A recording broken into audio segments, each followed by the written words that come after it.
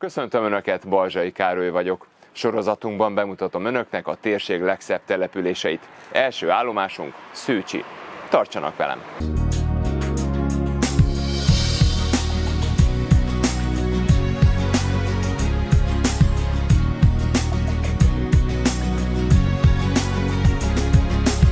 Szücsi a régészeti leletek bizonyítékai alapján már az ősidők óta lakott település volt.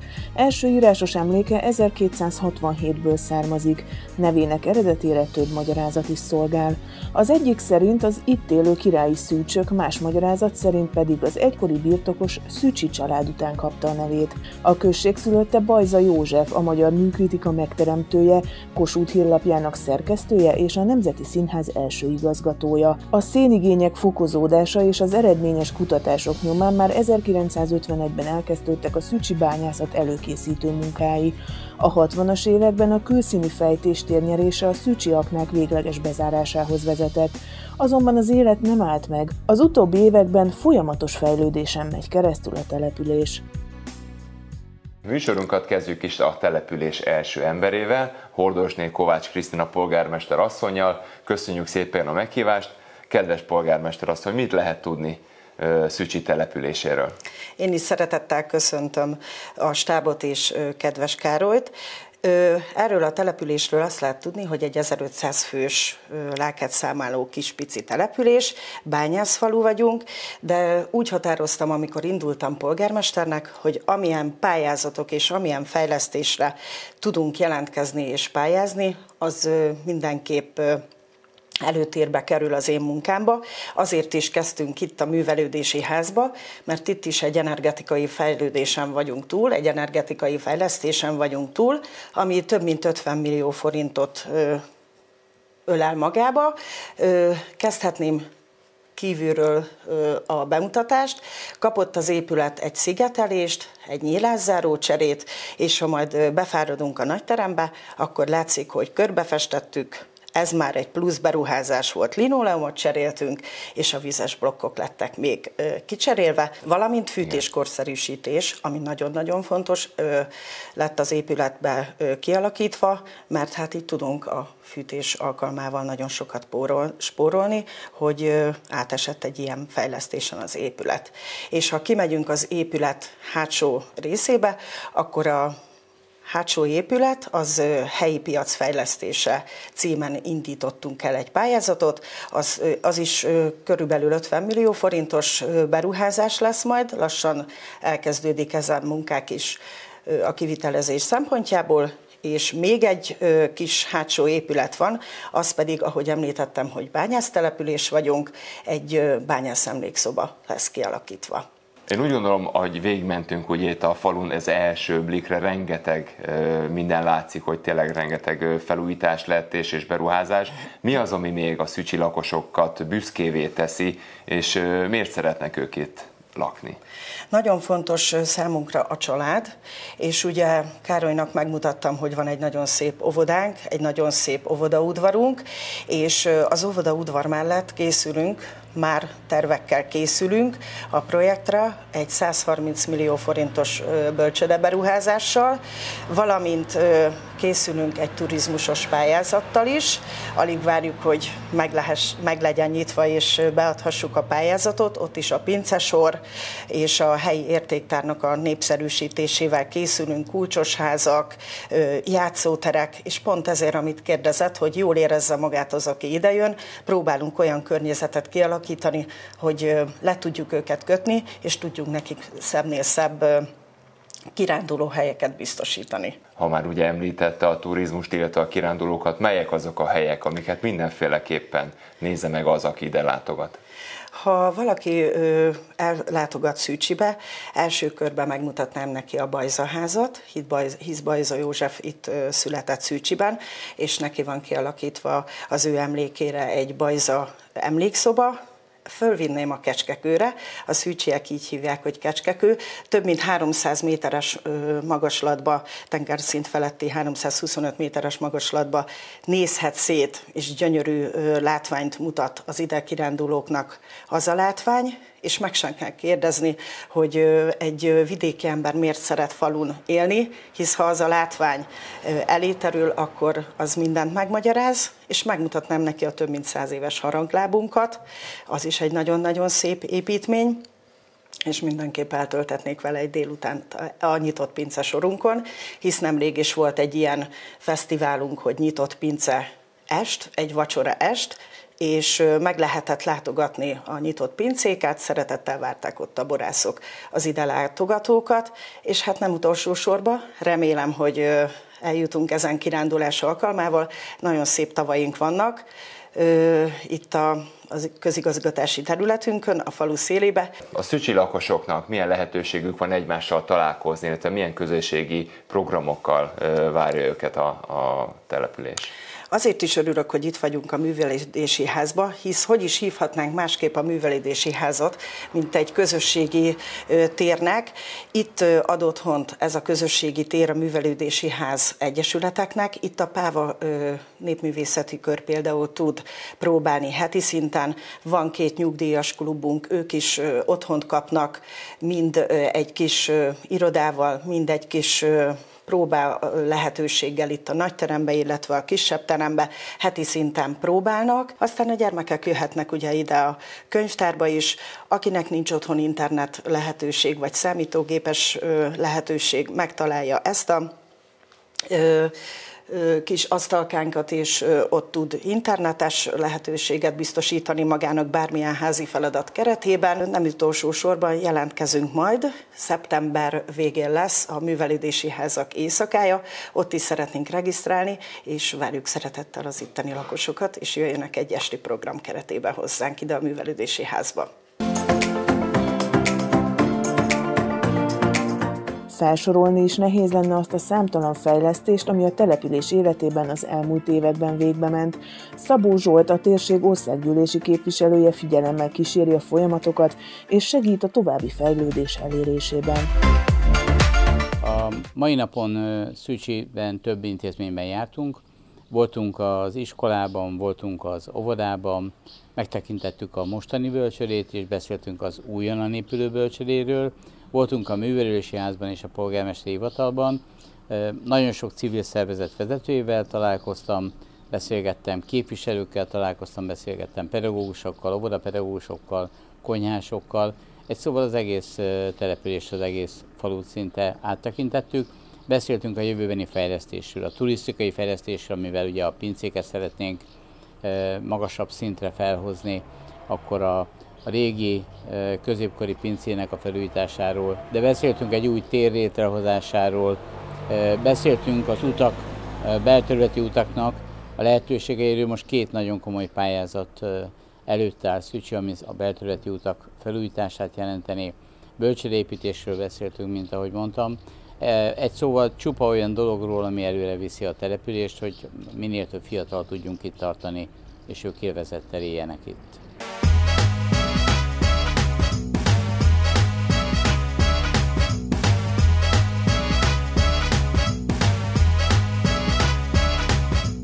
Az elmúlt években a helyi óvoda is több fejlesztésen esett át, aminek köszönhetően a gyerekeket sokkal modernebb környezetben várják. A település nagyon szép óvodájában vagyunk. Erdélynél Laszkács Erikával beszélgetünk, ő a vezető óvónője ennek a gyönyörű szép intézetnek. Hányan járnak ide a gyerekek, és, és mit lehet tudni erről az óvodáról? Az elmúlt nevelési évben 30 kisgyerek járt óvodánkba, most egy kicsit többen leszünk már. 2019-ben újították fel teljesen ezt a, az óvodát, egy több mint 100 millió forintos költségvetéssel. Kaptunk új tornaszobát, amelyet nagy örömmel használnak a gyerekek a, a tornafoglalkozásokhoz vagy a rendezvényeinkhez. Itt tartottuk a karácsonyi ünnepségünket is, felújításra kerültek a csoportszobák, a, az öltözők, gyermekmosdók, nagyon szép barátságos környezetet kaptunk így. Majd a tavaly nyáron készült el ez az udvarunk, ami itt látható mögöttünk. Ez több mint 4,5 millió forintos beruházással kaptunk új mászókákat, új babaházakat, amelyeket nagyon nagy örömmel használnak a gyerekek. Hány csoport van, milyen csoportok, vegyes csoport, kicsi, középes vagy nagy, illetve hogy a, a mozgásfejlesztéssel azzal, hogy szoktak foglalkozni a gyerekekkel. Két csoportos az óvodánk. Uh, attól függ, hogy milyen összetételű a gyermeklétszám. Az elmúlt évben volt egy kis csoportunk és egy nagy középső vegyes csoport. Most az elkövetkezendő évben két vegyes csoportunk lesz, egy kis középső és egy nagy középső. A mozgásfejlesztés az óvodáskorú gyermekek életkori sajátosságának figyelembevételével történik. Az óvoda mellett ugye bölcsöde is működik, hogy erről tudna nekünk néhány szót mondani. Igen, a Tündérvöl családi bölcsöde az óvoda épületében kapott helyet. Öt kisgyermek jár oda, két éves kortól már jönnek hozzánk, és két és fél évesen már folyamatosan jönnek át a gyerekek az óvodába. Fogadjuk őket, ugyanis van helyünk, és örömmel fogadjuk a piciket.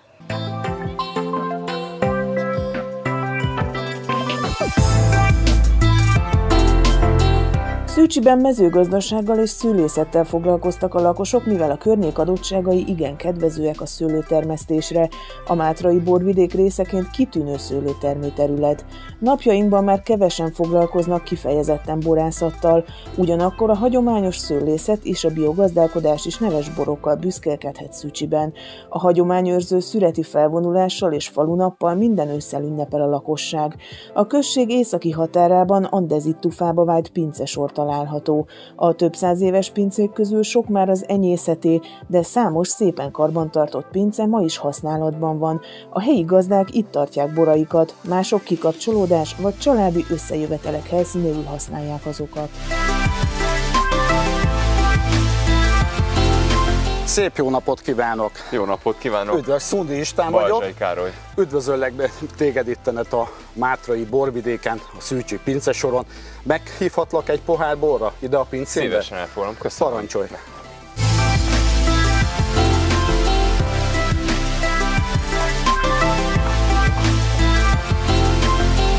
A bor előtt meghajolni.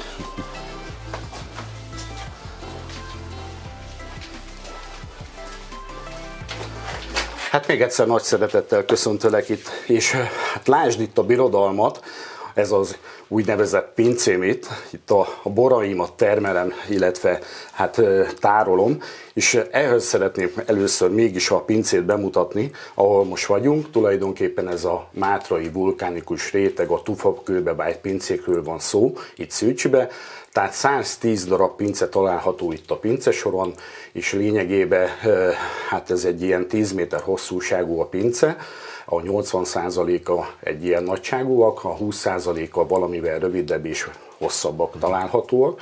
És hogyha ö, ö, elfordulnánk erre, jól látható a különböző rétegek, amiből tevődik össze, van keményebb, vizesebb réteg, agyagosabb réteg, és hát ugye jól látható maga ez a vulkánikus különböző rétegeknek ez a folyamata. Maga És a pincér... nincs is szükség kirakni kis téglával, meg ezt a Nem, nem, nem. Ez, ez, tehát ez a pince 1710-ben lett vájva, és hát lényegében ö, 1710 lett. 1710-ben, és fokozatosan itt a három szint magasságába lettek tovább növekedve, ugye ez a 111 pince tulajdonképpen. És itt fölöttünk kb. hány méter föl Hát, van, hogyha tufa? megnézed, itt fölöttünk már egy másik pince található, uh-huh. tehát ott a sarok rétegébe 30 centi ö, kőréteg van a két pince között. Tehát azért, tehát az őseink ezt nagyon nagyszerűen kimérték,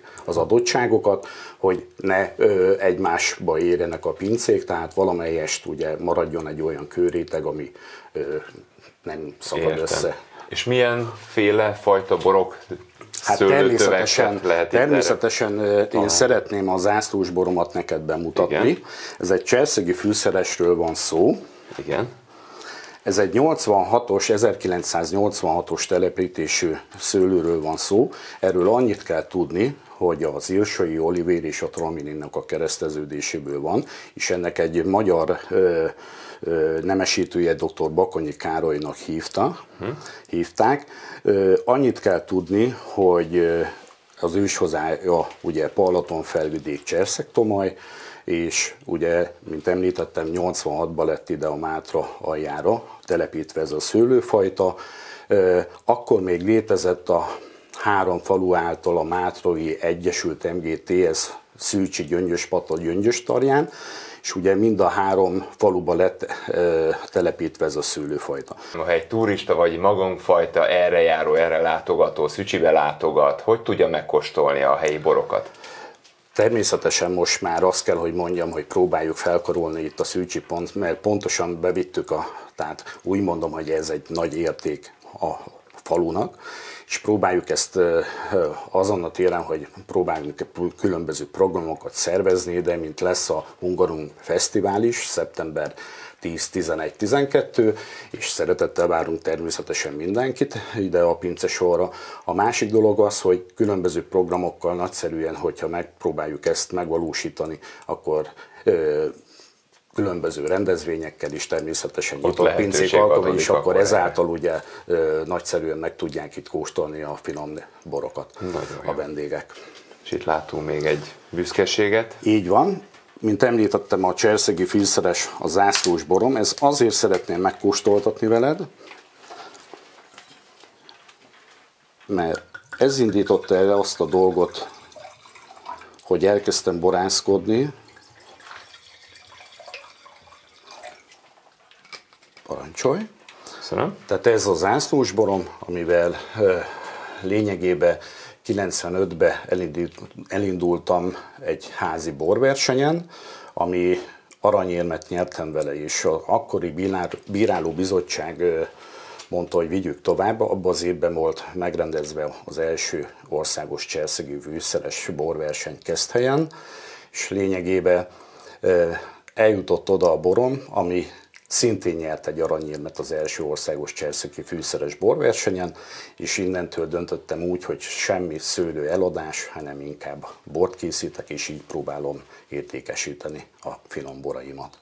Ehhez a sikerhez szívből gratulálunk, és megkóstoljuk. Mivel említettem, hogy az írsai és a traminnak a kereszteződéséből van ez a szőlőfajta, ugye nagyszerűen kérdződik a írsai által ez a nagyszerű gyümölcsös illat, ami elkészítésénél nagyon odafigyelek, mert én megmondom őszintén, hogy ennek igazán úgy, ennek a borfajtának úgy van egy nagyszerű gyümölcsös jellege, hogyha hagyunk vissza egy kevés saját cukormennyiséget. Na most ennek az elkészítésén nagyon oda kell figyelni, mert amikor lemegy a zajos eljegyés, akkor szinte minden nap oda kell figyelni arra, hogy ne erjedjen túl, és általában egy ilyen 10-15 g cukormennyiséget visszahagyok, és akkor még jobb gyümölcsös bor készül belőle. Hát fantasztikus szakma ez is. Nagyon szépen köszönjük a vendéglátást, és további sok sikert ezekre a borokkal. Nagyon szépen köszönöm. Egészségedre. Egészségedre.